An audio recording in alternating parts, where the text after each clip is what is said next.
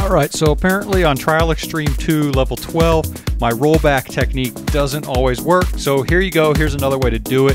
What you need to do is you jump, hit the brakes in the air, and then release them and roll your guy back. So it's a combination of those things that will get you back there. There's more than one way to get back there. You don't have to do the rollback technique. So let me show you again in slow-mo.